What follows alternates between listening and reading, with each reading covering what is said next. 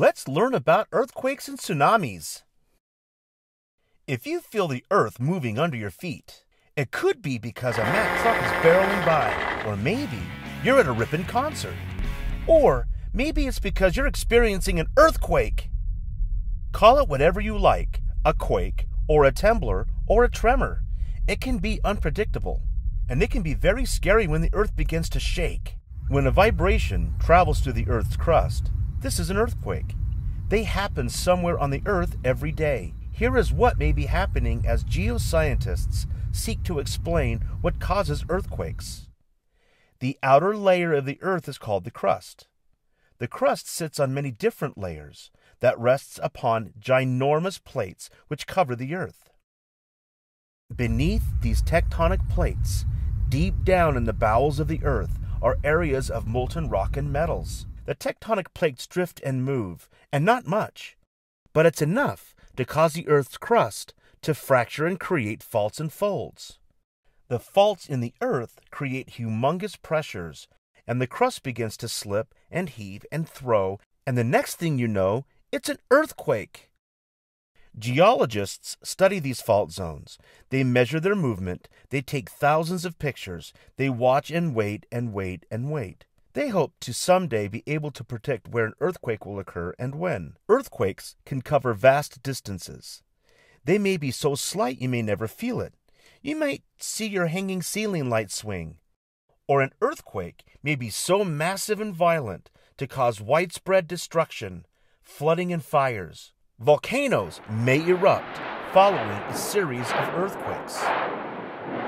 In 1989, the monstrous earthquake of the Bay Area in California rocked the major cities of San Francisco and Oakland. The temblor caused landslides, fires, buildings crumbled and cracked, homes demolished. A double decker freeway collapsed and flattened cars below. The damage came to a cost of billions of dollars to repair. The epicenter, the point on the earth where the greatest force originates, was 60 miles away, and yet these two major cities were struck with enormous force and destruction. There were fewer cars than usual during rush hour on the roads and expressways. You see, on that day, October 17, 1989, Game 3 of the World Series was being played in San Francisco's Candlestick Park. The Oakland A's and the San Francisco Giants and their fans were in the stadium when the earth shook. Amazing! Even more shocking, San Francisco was also the site of the devastating quake of 1903. At that time, the entire city was mostly destroyed. Throughout history, millions of people have been affected by the wrath of the invisible destroyer. You don't see it coming, and you may not know when it will strike. The day after Christmas of 2004, many miles below the seabed of the Indian Ocean, the movement of two tectonic plates caused a series of enormous waves of water over a hundred feet high to strike 14 countries bordering the Indian Ocean. Indonesia was the hardest hit, then Sri Lanka, India, and then Thailand. Hundreds of thousands of people were affected. These huge waves caused by earthquakes are named tsunamis. Any coastal town is at risk of being struck by a tsunami. They can begin from hundreds of miles out to sea and travel at a speed of over 500 miles an hour. As fast as a jet. You cannot outrun, outdrive a tsunami. The wall of water may travel for miles and miles inland, and the best thing to do is head for higher ground. If you should be caught in an earthquake, there are some things you can do. If you are indoors, stay indoors. Drop down and take cover under a desk or a table.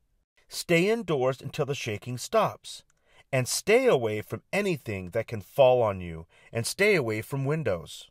If you are outdoors, find a clear spot away from buildings and trees and power lines. Living on this magnificent planet is marvelous. So much to learn, so much to see, so much to experience. Perhaps you may want to become a geoscientist and study the Earth.